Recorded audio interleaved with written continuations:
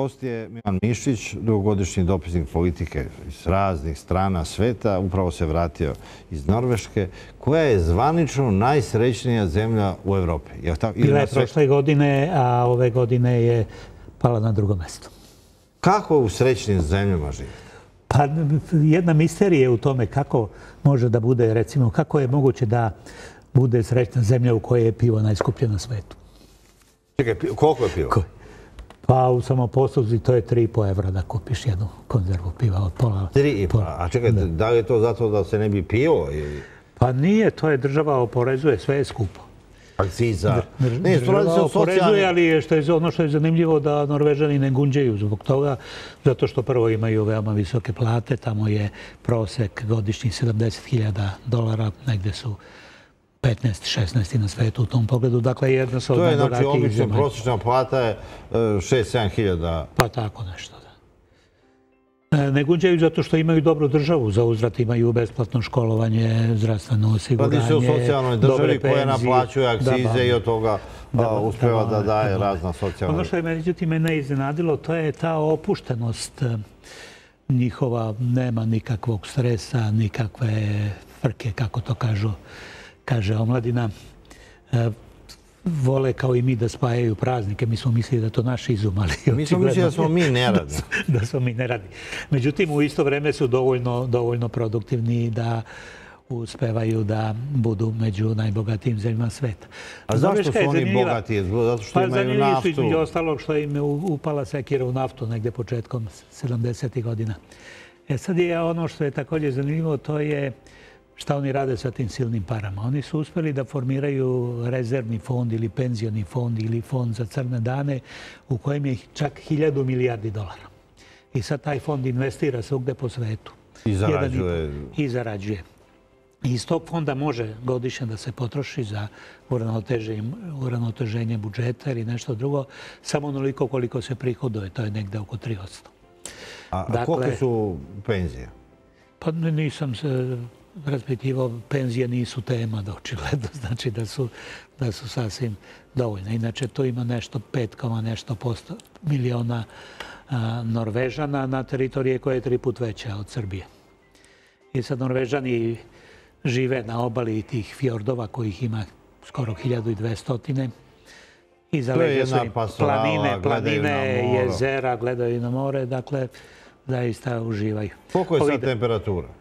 Bila je isto kao i ovde temperatura između 18 i 27, 28. Međutim, ono što je zanimljivo, dan počinje ranije, već negde oko 4 sata, završava se tek negde oko pola 11, mislim, na, na dnevnu svetu. A da li Norvežani koji tako lepo žive dosta rade? Pa, dosta rade, ali rade u isto vreme i, kao što malo pre rekao, opuštana. U prošli četvrtak je bio, recimo, nacionalni praznik 17. maj, to je dan kada su oni pre dva veka skoro dobili nezavisnost, odnosno kada je proglašen prvi ustav. I oni su to slavili ceo dan, svi su izašli u centar grada da pozdrave kraljevsku porodicu koja je čitavla dva sata odmahivala publici sa prozora. E, onda su tu bili e, marševi pre svega dece, pionira, da tako kažem, Mnogi su došli u narodnim nošnjima. To je dan kad svi dolaze u grad doterani sa mašnoma, formalno u nacionalnim kostimima i tako dalje. Vole svoju kraljevinu. Kad je upoređuju sa britanskom, kažu da je njihova zabavnija. Njihov kralj je bio prvi koji se oženio građankom još 1960. Predstolo nasljednik se također oženio građankom koja je bila pre toga konobarica i imala dete iz veze sa čovekom koji je pre toga osuđivan za trgovinu drogom. Ali to je jedna slobodna zemlja. Kraljevi idu na biciklu kao i u Švedskoj. Ne bave se mnogo. Nema mnogo toga strogo formalnog tamo. Ali e, i Švedska, i Norveška, i te skandinavske zemlje su vekovima ratovali međusobno. I onda su sklopili mir i to se zove skandinavizacija. Znači, pomirili su se i imaju odlične odnose. I čak i ustaški teroristi i emigranti koji su došli da žive u Švedskoj su vidjeli da je to bolje nego da se istrebljuje međusobno. Međutim, ta ideja ipak nije pobedila na Balkanu.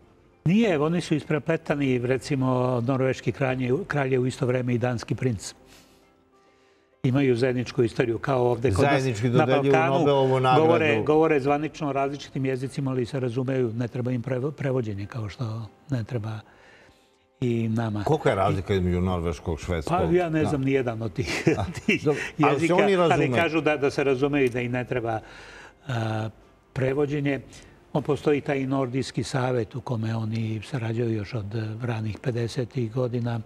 Nemaju ambicija da se da se integrišu, ali e, u svakom slučaju tamo gde postoji zajednički interes ima ima odlična saradnja. Ima odlične, I ljudi rade e, neki deo života u Švedskoj pa u Norveškoj, menjaju poslove.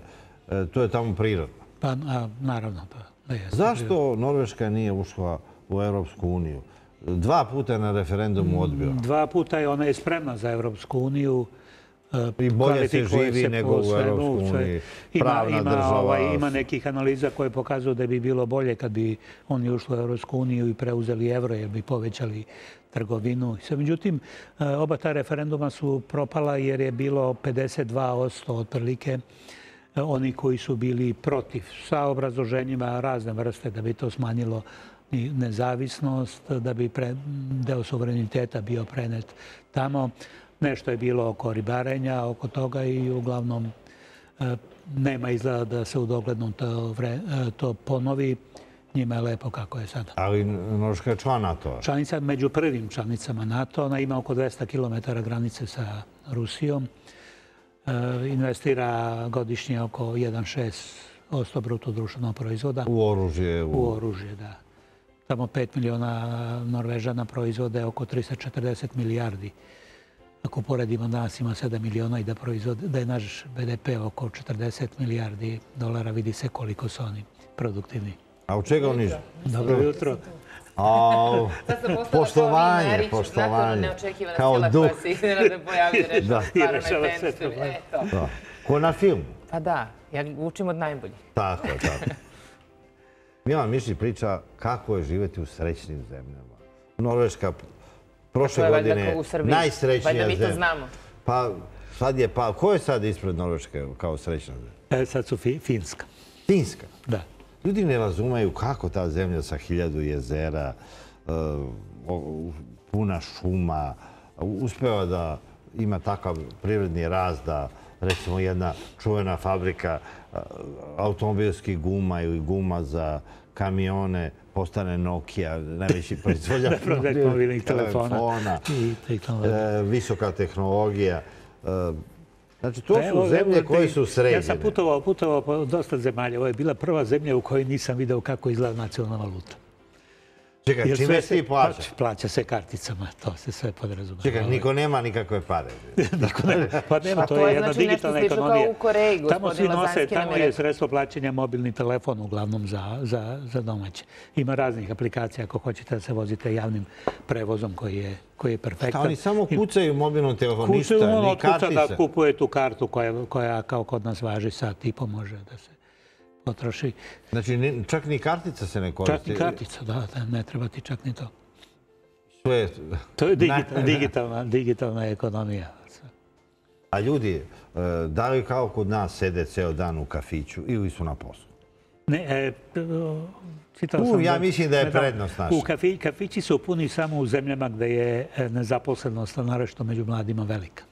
Znači, ove zemlje narušene na Jugoslavije, to, Tu su kafići puni i u Prištini, i u Peći. I u Prištini, i u Peći, i u Beogradu, i u Sarajevu, i u Banja Luci, To znači da ima previše dokonog sveta. Znači, ne, nema posla, ali u Oslu rade. U Oslu postoje kafići, ali nisu, nisu tako puni. Tamo su inače već počeli, pošto žive na moru, već su počeli da se kupaju, iako je voda ispod 18 stepeni. To njima ne smeta, oni su pa navikli. Njima ne smeta. A sad zamislite e, kakva je atmosfera i kakva je temperatura kod nas i tamo. Mm. Normalno da se ovdje sedi u kafićima, da se uživa proleće, sunce, mamite Dobro, da ali tamo nije, nije hladno.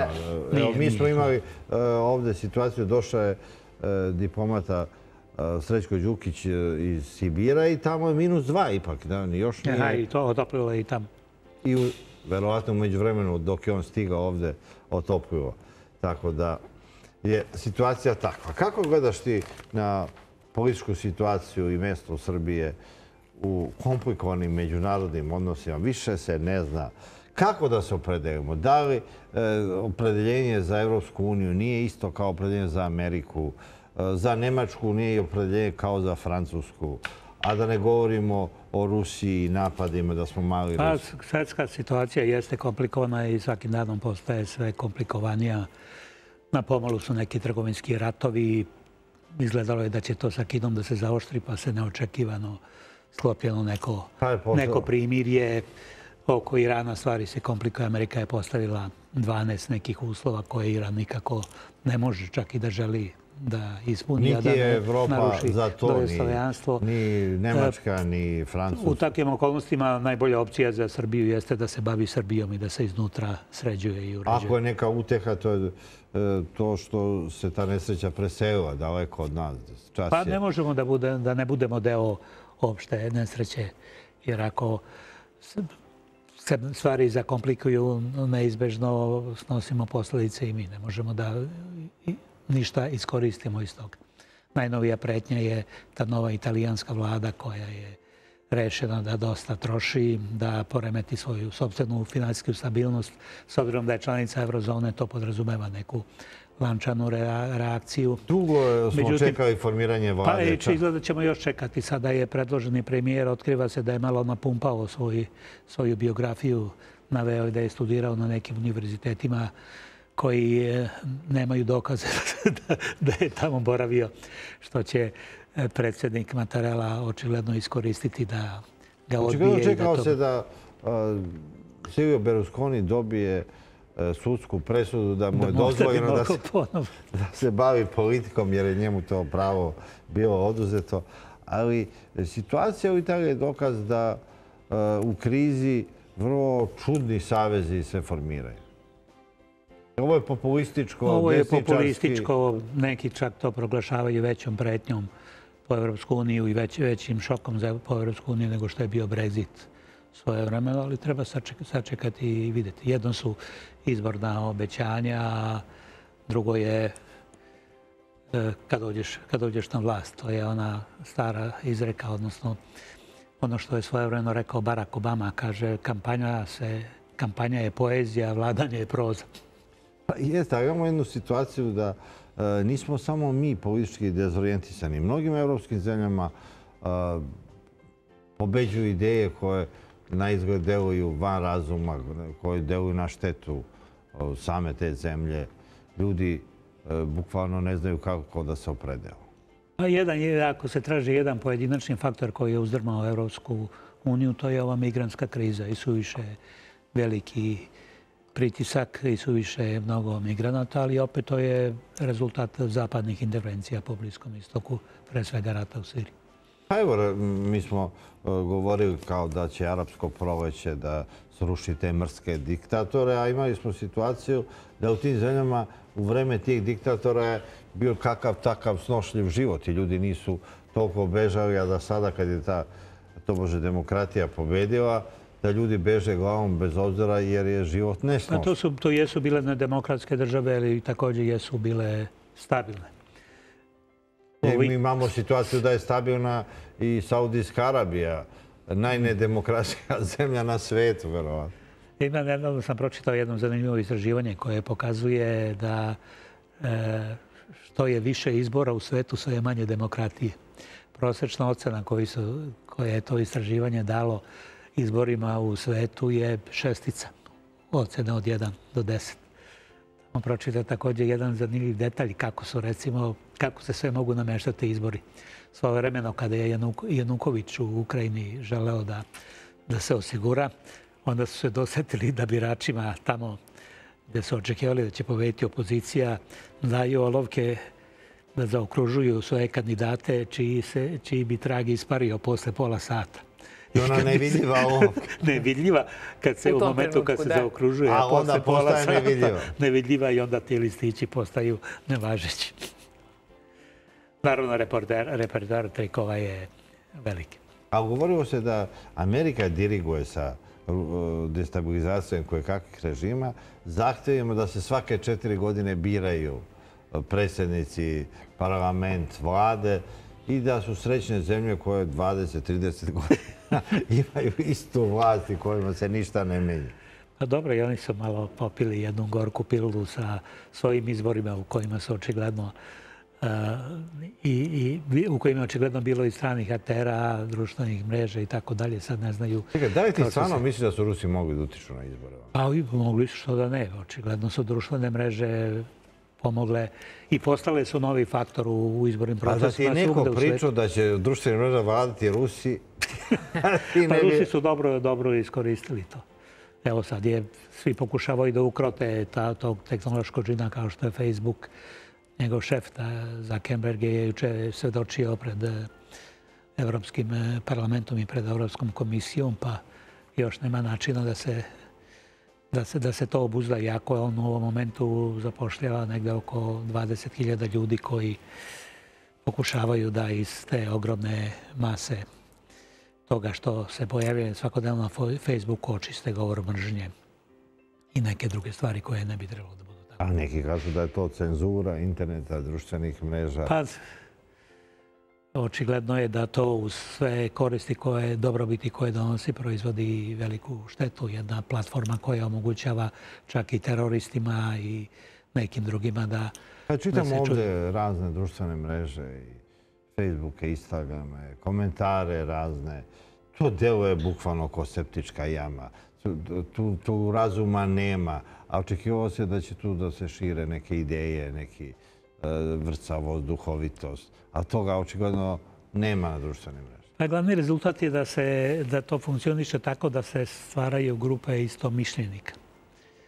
I ekstremista. I sve manje, jedni su ekstremisti, drugi su za drugo, ali niko, ali nema onoga pitanja, nema ukrštanja ukrštanja ideje, jer to jednostavno tako funkcioniše. Funkcioniše e, Facebook i sve te druge društvene mreže automatski evidentiraju šta vi gledate i onda vam daju veće količine toga. Hvala vam. Najveće ste bili gosta našeg jutarnjeg programa. Sad ćemo čuti najvažnije vesti iz zemlje sveta.